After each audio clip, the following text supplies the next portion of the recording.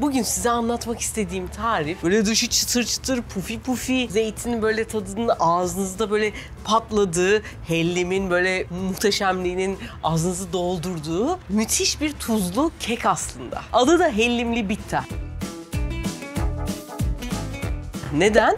Kıbrıs'ta hellimli bitta vardır, bir de zeytinli vardır. Bir de böyle hani iyice güzel bir şey yapmak isterseniz rahmetli teyzem biz Kıbrıs'a gittiğimizde bunu yapmayı çok sever. Hellimli zeytinlisini bir arada yaparsınız. Ve bugün ben size bu benim çocukluğumdan yediğim ve çok sevdiğim hellimli zeytinli bittanın sevgili Kıbrıs'a da hala gidemiyoruz. Onun hasretiyle size tarifini vermek istiyorum. Tarifi aslında çok basit. Basitliği de şuradan geliyor. İsterseniz kendiniz hamur tutabilirsiniz ama fırından hazır ekmeklik hamur alarak da bu gayet çözülebilir. Fırından 3 tane ekmeklik hamuru böyle annem bazen bana alır. Onlar üst katta oturuyor. Benim daire alt katta şlap diye böyle camın önüne Refika hadi bana hellimli bitta yap diye bazen bırakır. Malzemeleri de zaten adı üstünde zeytin, siyah zeytin, hellim, yeşil taze soğan, kuru soğan, yoğurt, zeytinyağı ve aslında iç malzemesi genel olarak bu. Dış üstü içinde susam ve çörek otu. Mantık şu. Hamuru çıkarıyoruz. İnce doğradığımız soğanları içine koyuyoruz. Yeşil soğan da koyuyoruz. Yoğurdunu da ekledikten sonra zeytinyağını da zeytinleri isterseniz çekirdeklerini çıkardınız, yarıya böldünüz. Bütün de koyabilirsiniz. Annem mesela asla uğraşmaz. Kuru nane bol bol. Hiç acımayın. Kıbrıs mutfağından öğrendiğim en önemli şeylerden bir tanesi nanenin çok acayip bir şekilde çok acayip yerlerde çok acayip miktarlarda kullanılabileceği.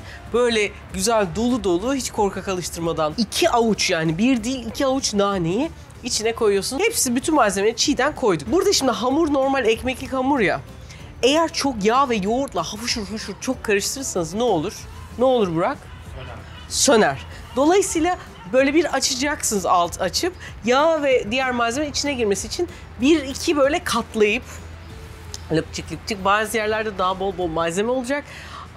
Ağzım sulanıyor. Ondan sonra onları böyle bir araya getiriyorsunuz. Zaten böyle elinizle elinizle her yer yağlanmış olacak. Kek kalıbına koyup ondan sonra onu fırına koyuyorsunuz. Ondan sonra böyle güzelce büyüyor. Dışı çıtır çıtır oluyor. Hani bu İtalyanların focaccia'sı var ya. Gelsinler bir de bunu yesinler oluyor. Hadi şey yapmayalım o kendi kulvarında. Bunun sadece kulvarı olması gereken bir güzellik onu söyleyebilirim. Çok başka bir yere gidiyor ve hellimli zeytinli bittamız 40 dakika içerisinde hazır ve nazır oluyor. Azıcık beklerseniz tabii yani hamur o kadar sıcakken bölünürse yazık olur. içi biraz hamur kalır. Biraz beklerseniz çekerse daha iyi ama bekleyebilecek misiniz? Ben çok emin değilim. Ama benden tavsiyesi demedi demeyin.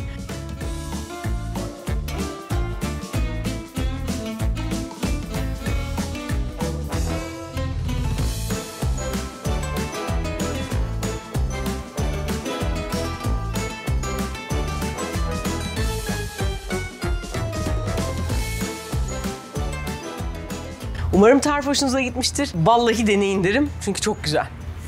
Görüşmek üzere kendinize iyi bakın.